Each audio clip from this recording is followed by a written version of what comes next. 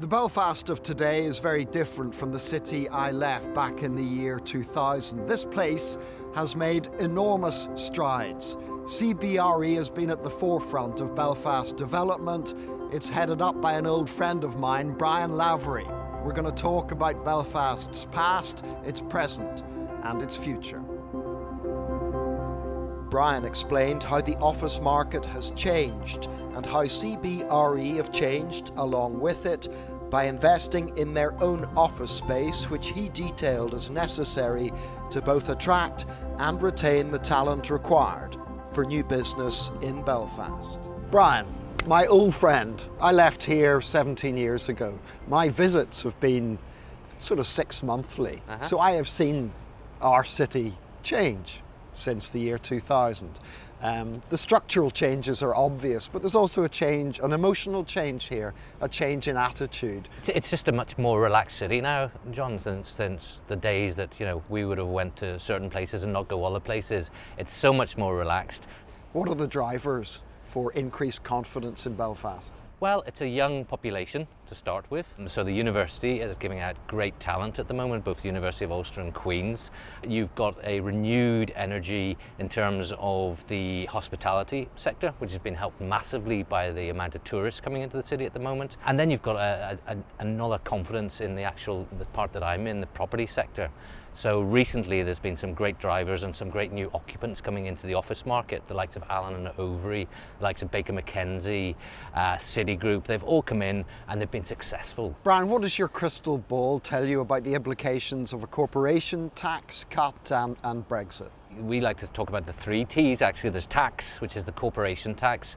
If we get that drop, the business community here have been, you know, been waiting for this for probably 10 years now. Yeah. We still believe it's a huge game changer in terms of our ability to compete throughout Europe, even if we're not in Europe at that point. And you mentioned Brexit there. The other T is the talent, which, as I said earlier, we're going to see around the amount of talent coming out of the universities and the amount of, of young people who are putting their talent worldwide in terms, and that's the next T, which is technology. And those young people, and you know, the millennials, are really pushing ahead with technology. I then went to the Harbour and Titanic Quarter. These areas, which used to house our industrial heritage, are once again providing significant employment together with living and leisure space. There's been a physical transformation in this part of Belfast for which you're you're responsible. And you had to transform the psyche of the people of Belfast. When I was growing up, Titanic was never mentioned. It was something we were ashamed of. Now you've made it a great source of pride.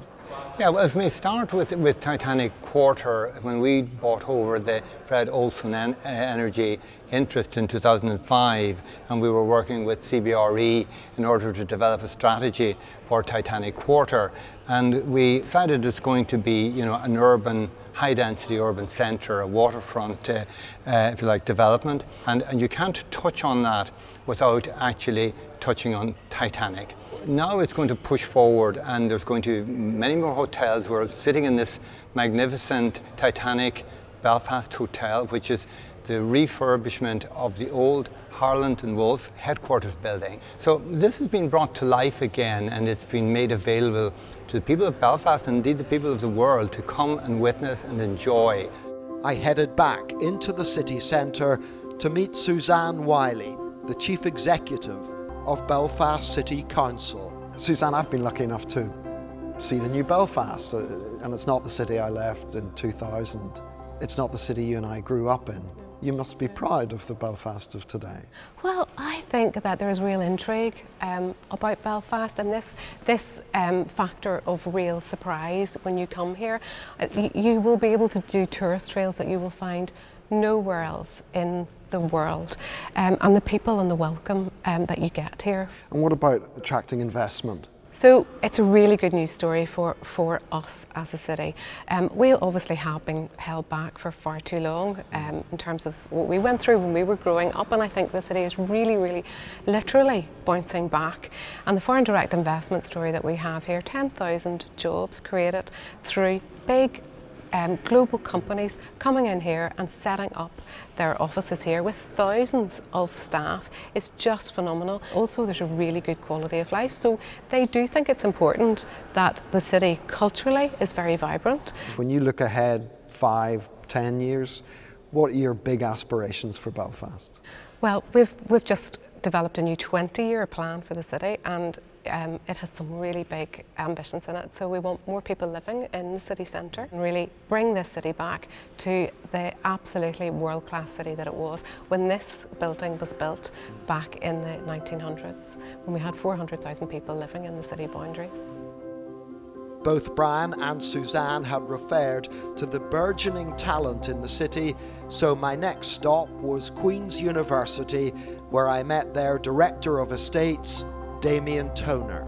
Foreign investors need confidence that they have a, a capable workforce waiting for them here. What's, what's Queen's role in providing that confidence? The Queen's Corporate Plan has a, a, main strand focused on education and students and within that strand uh, we focus a lot on the employability of our students and ensuring that they have the skills and the abilities to go out there into the local employment market and meet the needs of those foreign direct investors and local employers um, uh, whenever they graduate out of Queen's University. It, the university has invested some 350 million in its physical estate uh, over the last 10 years uh, uh, and that's to support our ever-growing student base uh, and it's to help us compete in the, in the global university marketplace. And I suppose a consequence of that investment is that it's helped with the, the, the growth of Belfast over those years, uh, both from an employment perspective, through creating jobs, through the construction that we undertake, uh, but also enhancing the city environment, and that's hugely important. How do you think Queen's figures on the world stage? I think we hold our own on the world stage. Uh, I think our, our, investment in the physical infrastructure around us, uh, coupled with um, Belfast as an exciting and vibrant city to come and study in, I think makes us a, a, a really good, strong, uh, competitive offering in that global marketplace. Another sector I wanted to learn more about was tourism, so I caught up with Tourism NI's Managing Director, John McGrillen. All of a sudden, a lot of new hotels are springing up within a stone's throw of where, where we're sitting. There are hundreds of, of yeah. new hotel rooms. Are they are they needed? Probably about 1,500 new hotels rooms being built within a stone's throw from where we are. You know, our visitor numbers have increased by 50% over the last seven years. I think what we are seeing here is the I suppose the supply catching up with the demand. You know, we, we've seen occupancy levels of around 80% plus, record, you know, uh, room rates that people are being able to to uh, to charge. We have seen revenue per available room going up by 20% on average across the city.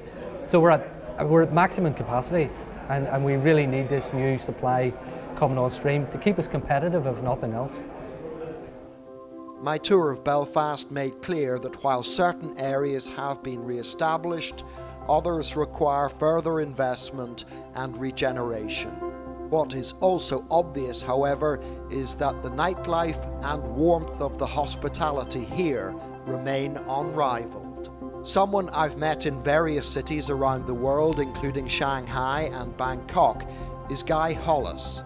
Guy opened the original CBRE office here back in 1997 and after travelling the globe has now returned to live and work in Northern Ireland.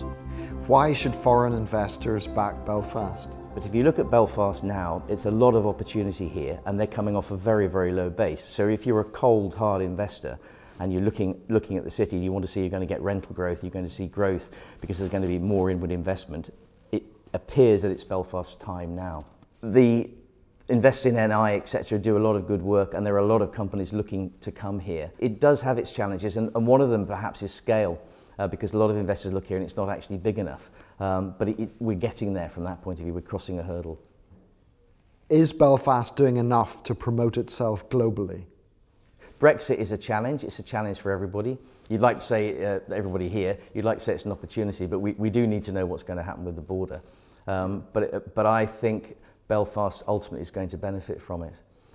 But what, what has changed again is that there are more uh, not locally bred developers, but people coming here and doing business. There's a number of companies coming here now that are developing here, um, which, which again wasn't happening when I first came here 10 or 15 years ago. So you look at a scheme like Merchant Square, which is, which, is, which is just going on site in a couple of months' time, and that's 220,000 square feet of speculative office development right in the heart of Belfast. That will create a product of an office building single investment that'll be 50, 60 million pound plus when it's let and occupied, which I'm sure it will be. Um, and that will attract big investors that haven't looked here before. And see, a lot won't even look if, if, it's, if, if the lot size is less than 50 million. And that, and that sounds like a lot of money, but it is, it's a reality. And those are the big investors that you want here. Castle Court recently sold. That was a very positive thing. Although it was bought locally, it was bought with Chinese money. Very interesting change for, for Belfast, because that really shows Belfast is on the international map. The last two days have been a revelation for my home city is a city transformed. Belfast is on the move again in the right direction.